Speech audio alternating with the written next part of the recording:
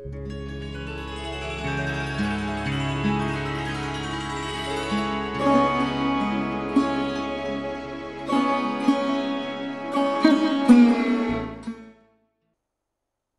good morning. I welcome all of you to the uh, second day of lecture of uh, computational fluid dynamics as far as my part is concerned.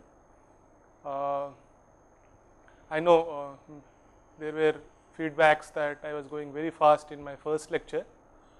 Uh, this was intentional because uh, the second part of the course which I will be covering uh, which constitute the core part of the computational fluid dynamics after Professor Puranik had laid down the foundations of fluid mechanics.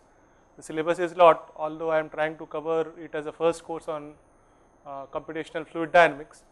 So, in the, my first lecture was just an introduction. So, I was in intentionally uh, quite fast. Uh, so, in the previous lecture I had given an introduction uh, where I would like to emphasize certain points. Uh, first point which I want, I want, to emphasize is that I mentioned that uh, what is the definition of computational fluid dynamics. Uh, I had suggested that you can define it as a method by which you can develop video camera like tool by which you can create a movie of fluid mechanics, fluid flow and heat transfer. And once you create a movie of fluid mechanics and heat transfer, fluid flow and heat transfer, uh, the picture of this movies should corresponds to uh, velocity vectors, streamline, vorticities, uh, because one picture or one movie is not sufficient enough to give the complete story about the fluid flow. So, we need different types of movies, different types of pictures to get an understanding. I also mentioned that if you create a movie of a flow situation uh, to understand the characteristics of the flow, this is of primary interest to uh, scientist. However, for an engineer, uh, what is of interest is certain engineering parameter. Like in automobile industry, they may not be that much interested in let us say flow structure behind the car or across an aeroplane, but what they may be interested is what is the uh, price they have to pay uh, as far as fuel economy is concerned. And which is uh, dictated by the fluid flow governing parameter, uh, engineering parameters such as lift force and drag force. So, once you create a movie you basically get a certain data. And once you get a data in terms of the flow properties you need to post process this data near to the solid object to convert it into engineering parameters. so, for that you have to do numerical differentiation to calculate the local parameters like local uh, wall heat transfer or wall shear stress and you may have to calculate, uh, you may have to do numerical integration to calculate the global parameters or an average parameter like total rate of heat transfer on a wall or total uh, shear force on a wall. Uh, thereafter, I had gone into the derivation of the uh, continuity equation and momentum and energy equation. I had done the derivation in slightly different manner using a control volume based formulation uh, I derived the uh, momentum and energy equation saying them to be a transport equation and I mentioned that this is a transport process which is going on as far as the momentum and energy conservation is concerned.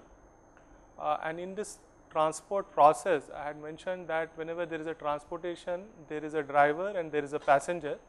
So, I mentioned that the mass flow rates acts like a driver and the scalar quantities uh, like the component of the velocity, u velocity is the passenger in case of x momentum, v in case of y momentum and temperature in case of energy equation. I also showed you an animation uh, for flow between ice and fire to give you a feel. Uh, I would like to repeat that animation. So, let us go to the animation I will show you in this window.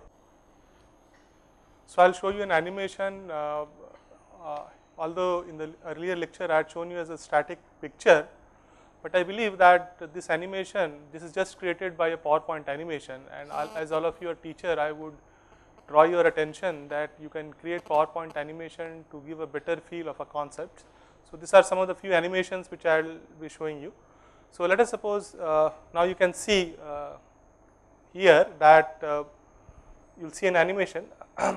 so, when you are standing between ice and fire and if I had mentioned that the diffusion phenomena which I am showing here as a conduction heat transfer, the temperature which you experience is the mean of the two temperature that is 0 plus 100 divided by 2 that is 50 degree centigrade.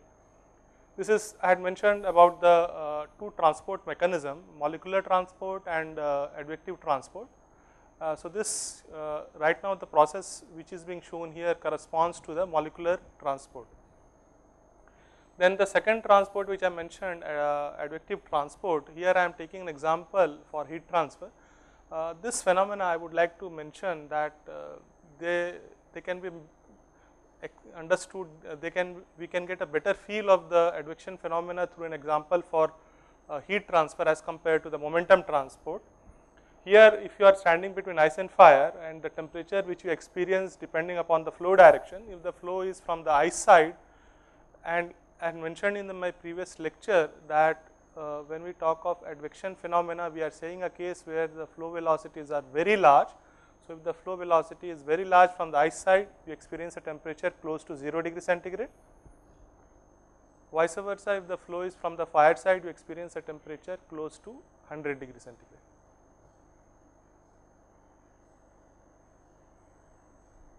Now, let us take a situation where you have a combination of advection and diffusion. This is a more practical real world situation, pure advection is a hypothesis because in uh, practical situation you will not encounter pure advection there will always be some diffusion. So, you cannot consider diffusion to be negligible.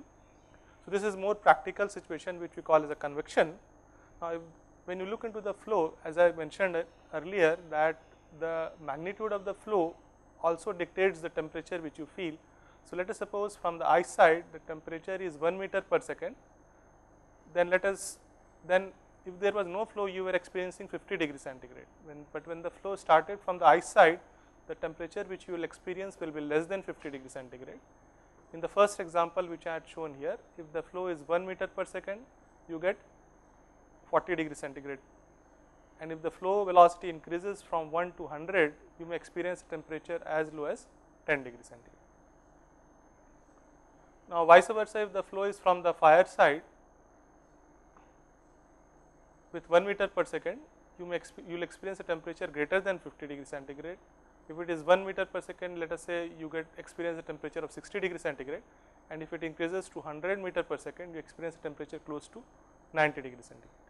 So, this was what I uh, this gives you a feel of the different types of phenomena. And after this I had gone into the derivation of the uh, continuity equation. And uh, then I went into derivation of the uh, momentum equation. And in momentum equation, I would like to show you that uh, these are the terms which represents the rate of change of x momentum, y momentum and energy equation. And when you do a control volume analysis, this is the x momentum which is going inside the control volume from the left surface and from the other surfaces these are the x momentum which are going in or out. So, using this x momentum at the momentum fluxes x momentum flux multiplied by surface area at the different faces of the control volume, you can just you have to just do a balancing out minus in and divide by the volume. When you divide by the volume as these are flux term you get surface area divided by volume. Surface area divided by volume give you a length scale in the denominator and when you take the limit corresponding to that length scale you get a differential term. Similarly, we do in case of y momentum. So, here y momentum flux multiplied by surface area is shown at the different faces of the control volume and here again when you do a balance and divide by the volume you get a differential term corresponding to what we call as the advection term in y momentum equation. When you go to the energy equation in a earlier slide it was x momentum flux and y momentum flux in energy equation here we are talking of an incompressible flow and in that case you get enthalpy fluid enters with some, some enthalpy it leaves with some other enthalpy. So, here you do a balance of enthalpy and divide by the volume and end up with a differential term for momentum equation. So, let us come back to the lecture. So, that way I had shown you the different fluxes as far as the advection term is concerned. I had shown you animation for uh, the diffusion phenomena, advection phenomena and a convection phenomena. And other than uh, so other than this uh, diffusion terms, I had mentioned that uh, other than the advection term, we have a diffusion term. And in case of uh, uh, momentum transport, the diffusion terms comes from the viscous forces. So, I had shown you there are certain viscous forces which act at the faces of the control volume. And basically, when you apply, uh, when you take a fluid control volume, you consider the viscous forces acting in the x direction and you do a balance, you get a del dot sigma term. And when you apply what I would like to draw an analogy between the fluid flow and heat transfer that whenever we do a derivation like in case of heat transfer class maybe in the first class of heat transfer when you derive you get del dot q and similarly in momentum transport when you do a derivation you get del dot sigma term. Then uh, there are two types of laws in fluid mechanics and heat transfer one which is called as a fundamental law and second which is called as a uh, subsidiary law. So, uh, law of conservation of mass, momentum and energy are fundamental laws and Newton's law of viscosity, Fourier law of heat conduction are called as subsidiary laws. Because what happens is that we correlate stresses with velocity gradient using these laws and uh, using let us say Newton's law and we correlate the conduction heat fluxes with temperature gradient US using Fourier law of heat conduction. So, with that we get final diffusion terms which is del square k del square u in case of x momentum k del square v sorry uh, k, uh, mu del square u in case of uh, x momentum mu del square v in case of y momentum and k del square t for energy equation. So, with this I had shown you the total uh, Navier-Stokes equation in dimensional as well as non-dimensional form. Towards the end of the last lecture I had discussed about the flow properties and uh, fluid properties. So, flow properties are those properties which represents a flow and they are velocities, pressures and uh, vorticities and the fluid properties are the thermophysical property like density, viscosity, thermal conductivity and so on. I had also mentioned that there are two types of parameter, one which is called as a governing parameter and second which is called as an engineering parameter. I had mentioned that whenever we do an analysis, we try to do in a non-dimensional form. So, the non-dimensional form of this parameter like governing parameter is Reynolds number, Prandtl number, Weber number, Rayleigh number, Grashof number and the non-dimensional form of the engineering parameters like non-dimensional form of lift force is lift coefficient, drag coefficient, uh, friction factor and so on. So, with this I had completed the last lecture and uh, let us start today's lecture uh, I was left with 4 5 slides of the previous lecture on introduction. So, I will start with those. Uh, this is a very important uh, subtopic initial and boundary condition. I would like to mention that the uh, governing equation or the conservation law which I had discussed earlier that same equation is applicable for various problems in fluid mechanics and heat transfer.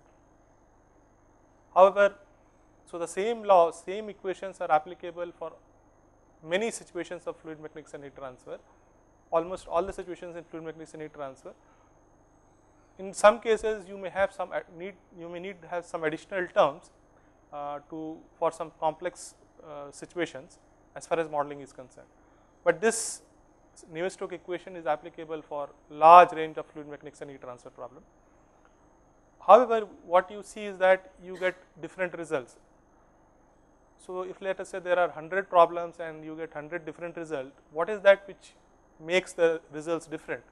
What makes the result difference is the domain and the boundary conditions. So, note that this initial and boundary condition acts as a jury to the problem, they dictate the solution. So, it is a very important thing you, sh uh, you should try to understand the different types of boundary condition if you look into the classification of boundary condition, mathematicians have defined it into three types. Here I have taken an example of heat transfer to explain the boundary condition in a general manner. I would like to point out that this is basically a two dimensional and steady state heat conduction equation with volumetric heat generation.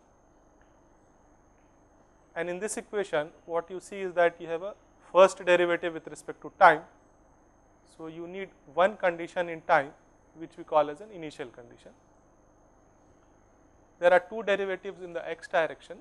So, you need two conditions at x direction. Let us say I take an example.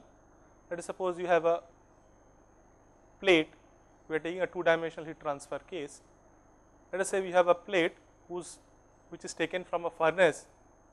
Let us suppose when you took it from furnace the temperature is 200 degree centigrade. And let us assume that left wall is maintained. Suddenly when the, we took the this plate from the furnace we had subjected it to certain boundary condition.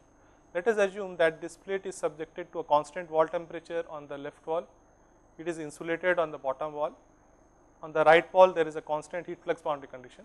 And on the top wall there is a convective boundary condition with H and T infinity as convective heat transfer coefficient and ambient temperature.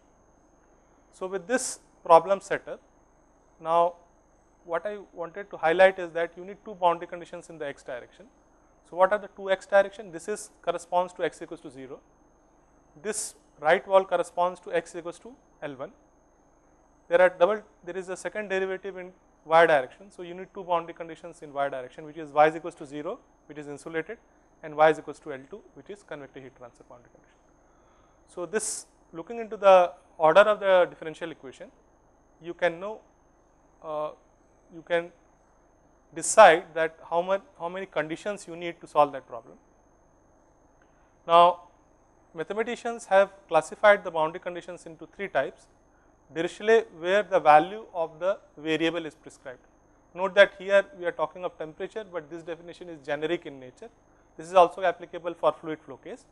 So, in fluid flow situations if the temperature is prescribed, if the sorry if the velocity is prescribed then that then also it is called as a Dirichlet boundary condition.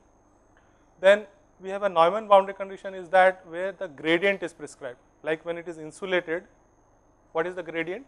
Gradient is 0. When it is a constant heat flux what is the gradient? Gradient is minus QW by K. Okay. So, whether the constant is 0 or non-zero if the gradient is prescribed then that boundary condition is called as a Neumann boundary condition. However, if you have a linear combination like when you have a Q conduction is equals to Q convection at top wall, then at top wall Q conduction is equals to minus K dt by dy at y is equals to L2 is equals to Q convection is by applying Newton's law of cooling H temperature, temperature at top wall minus T infinity. Now, this expression consists of a gradient of temperature and the value of temperature. So, it can be expressed as a linear combination of temperature and its normal gradient. So, when temperature is prescribed it is Dirichlet, when gradient is prescribed it is Neumann and when you have a linear combination of the temperature of the variable and its gradient then this is called as a Robin or mixed type of boundary Okay. This is a very important topic. This, this example I have taken from heat transfer. Now, let me take an example from fluid flow. This is a classical problem of uh, heat and fluid flow across a uh, circular cylinder. Right now, I am showing it as a circular cylinder, but it could be an aeroplane also. So, it is an external flow problem. So, in this case, uh, when you want to set up the problem, as I said that if you want to create a movie, you have to zoom to certain region in space. Similarly, you here you want to create a movie of let us say flow across a cylinder or heat transfer across a cylinder, then you have to zoom to some region in space. So, here the space which we take to let us say create a movie of fluid mechanics is what is shown here. This is the left wall, this is the right wall and this is the bottom wall and this is the top wall. So, within this wall you have zoomed. Now, once you zoom to a region in space, then as I said that then this makes your computational domain. And another thing you should know that you cannot arbitrarily zoom to a region in space. You may feel that if I take very small instead of this rectangle size of this rectangle, if I take very small whether it is okay or not, uh, you have to actually understand the boundary conditions which you are using before selecting the domain. So, let us talk about the boundary condition. So, what is the boundary condition on the left hand side? Left hand side we are taking the inlet boundary conditions. So, when you talk of free stream flow, the inlet boundary condition is u is equals to u infinity, v is equals to 0 and temperature is ambient. We are taking a problem where the circular cylinder is having a temperature, it could be two types of heat transfer problem. First constant wall temperature, second constant heat flux. So, here had shown uh, both these cases. So, when there is a free stream flow, we have to take an inlet boundary. So, the flow comes from this side, we have to take an outlet boundary and it goes on this side. Now, let us look into the boundary conditions which we are applying and let us try to understand that as far as this position of the left wall and the right wall is concerned, whether it could be arbitrary or there should be some physical basis of the position of this boundary. I would like to draw your attention again as I mentioned that CFD is just a numerical method where which is guided by fluid mechanics principles. Okay. So, here we will use numerical method, but we have to whatever we do we have to be guided by the fluid mechanics principles. So, I am asking question that the position of this left wall can it be too close? What happens if it is very too close? Physically if you consider flow across any object, let us suppose if you consider flow across a car, let us assume that this instead of this circle there is a car here. What happens when the flow comes near to the surface of the car?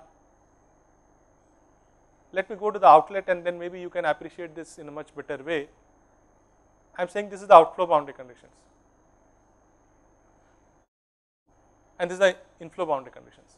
If you, how does the streamline as far as your understanding in fluid mechanics is concerned, what do you feel how the streamline pattern will be? Initially it will be straight up to certain distance, then what should happen? It will start the streamlines which are above the horizontal center line passing through the cylinder will try to move up, will have to move up. The streamlines which are below the horizontal center line of passing through the center of the circle. Let us take a horizontal center line which is passing through the center of the circle and let us try to understand the streamline pattern. The streamlines which are above this horizontal line will initially be horizontal, but when it comes close to the cylinder it has to go up. The streamline which are below the horizontal line of the center uh, uh, horizontal line has to go down to obey mass conservation. Now, if you take this boundary very close, so what we are the deviation of the streamline basically means that the velocity is deviating from u is equals to u infinity.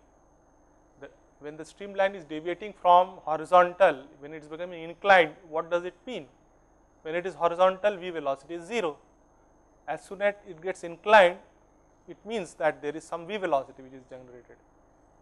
So, if you take this left boundary very close to this, this let us say car or a cylinder or an airplane, what you are doing is that you are forcing that u is equals to u infinity, which is not correct.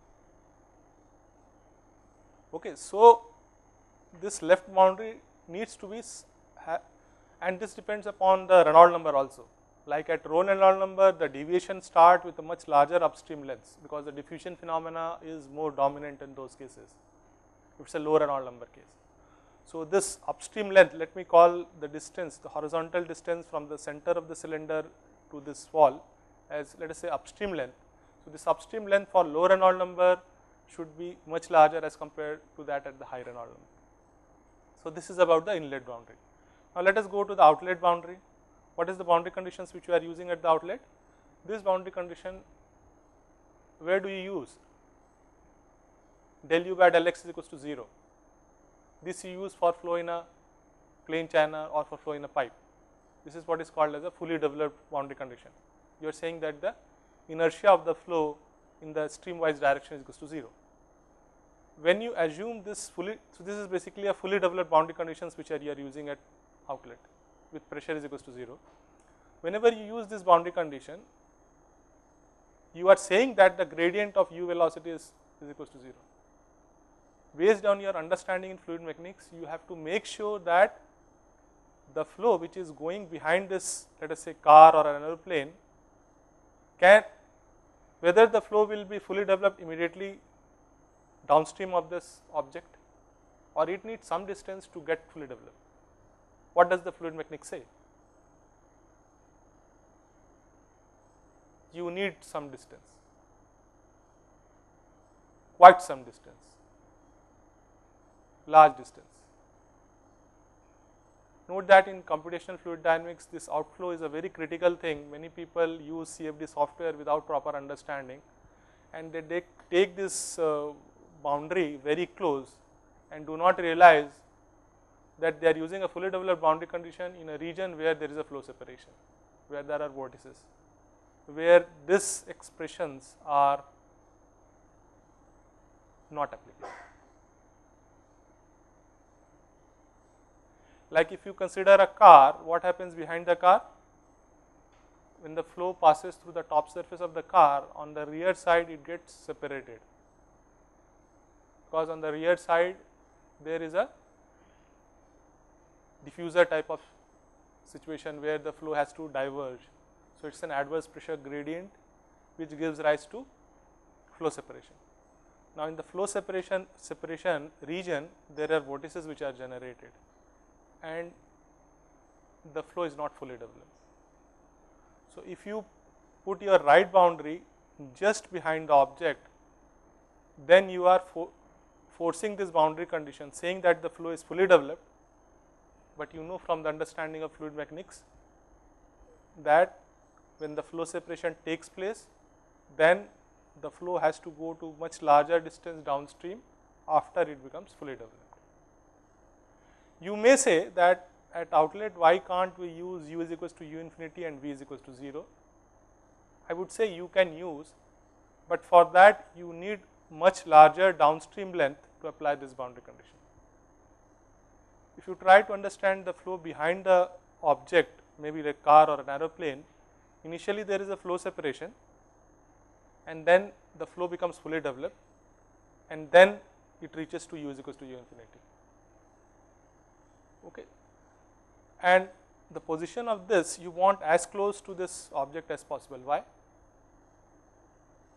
The idea is very simple. Let us suppose you want to create a video, you want to zoom to a region where most of the action is happening.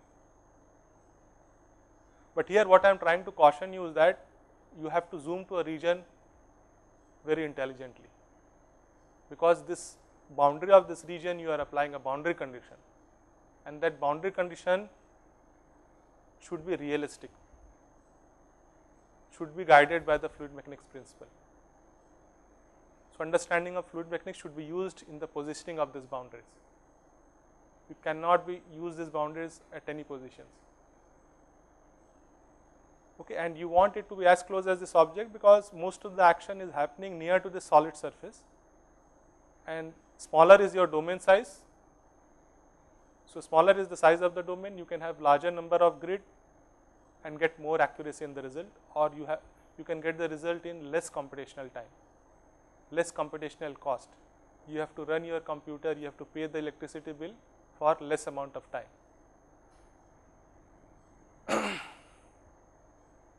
so, this is about the left boundary and the right boundary. If you go to the bottom boundary and top boundary, again here you can say that why can't I use u is equals to e infinity, v is equals to 0, but the boundary condition which I am showing you is a better boundary condition because as you move away from the cylinder initially this boundary condition will be obeyed, then that boundary condition will be obeyed. So, this is a better boundary condition. Using this boundary condition you can get an accurate result with lesser height of the computational domain. To use u is equals to u infinity on the bottom and top boundary you need a much larger domain height. Okay, so this is uh, so here uh, boundary condition which I am showing you is called as a free slip boundary condition what free slip boundary condition means is like here I am showing you v is equals to 0. What is the v velocity on this boundary? This is a horizontal boundary. So, v is basically normal velocity is equals to 0 and what is u velocity on this boundary? It is a tangential and what is this direction 1 to the boundary? This is normal. So, this is the normal gradient of tangential velocity is equals to 0. So, in general a free slip boundary condition means normal velocity is equals to 0, normal gradient of tangential velocity is equals to 0. For temperature it is like an insulated boundary condition, normal gradient of temperature is equals to 0. Okay. So, this is a very important topic. So, I had to discuss this in detail. So, I had taken an example, a classic example of an external flow and with that I had discussed the boundary conditions for the fluid flow. But let me tell you that again the in the earlier slide as I discussed these different types of boundary conditions, these are not only applicable for temperature that is in this slide, but this definition is equally applicable for the fluid flow situation. So, here you can see what is the type of this boundary condition, here the variable is prescribed. So, this is a Dirichlet boundary condition. On this boundary gradient is prescribed. So, this is a Neumann boundary condition. Okay. So, here also you have different types of boundary. Here you do not have a Robin or mixed type of boundary condition. On the solid wall, if temperature is prescribed, it is Dirichlet. If the constant heat flux is prescribed, it is a Neumann boundary condition. So, after uh, starting with the uh, equations in a dimensional, non-dimensional form, uh, I had shown you the initial and boundary condition. So, now another important thing which you need in as I said in fluid mechanics is that one is the what you call as the engineering parameter which are also called as the integral parameters. I am showing you here how to calculate this engineering parameter like drag force, lift force and the rate of heat transfer. Basically they are cal calculated using a surface integral. Like for flow across a car or flow across an aeroplane or flow across a circular cylinder, you have to take a take the surface and the surface is a closed surface. And on that closed surface, you have to do this integration. Now, what is this integration? You have n dot sigma. What is this n? n is the unit normal vector. So, if it is a curved surface, unit normal vector will vary from point to point. If it is a horizontal surface, what will be this n? It will be j. If it is a vertical surface, this n will be i, i hat. In general, if it is an inclined flat plate, this normal unit vector will have ai plus bj. Sigma is a second order tensor. So, the dot product of a vector with a second order tensor is a vector. So, you get net force. This force will act in any arbitrary direction. Now, this force has a horizontal component which is called as a drag force and a vertical component. So, this is called as a lift force. This is a total force which is acting on the object which may be surface of the car or aeroplane. So, this horizontal component if you want you have to take the dot product of this with i. Okay, so, this if you take the dot product of this with i you get a horizontal component. If you take a dot product with j then you get this vertical component. Okay, and this stresses varies point to point on the surface of a car or aeroplane. You have to do a surface integral to calculate the total drag force, total lift force. Now, when you want to calculate the rate of heat transfer, unit normal vector, this is a, here it was dot product of a unit normal vector with a tensor in heat transfer, stress is a tensor, but what about the rate of heat transfer? Heat flux, it is a vector. So, the dot product of a unit normal vector with another vector will, will give you a component which is AQX plus BQY. Okay. So, this I am showing you in a more generic manner. If you look into undergraduate heat transfer uh, books, these are shown in much more simplified manner. Here I had taken an example of flow across a horizontal plate and I had shown you expression of the drag force and the lift force. Here uh, the unit normal vector is uh, plus j on the top side minus j on the uh, bottom side and using these expressions uh, what you finally get is shown here. So, I will stop here.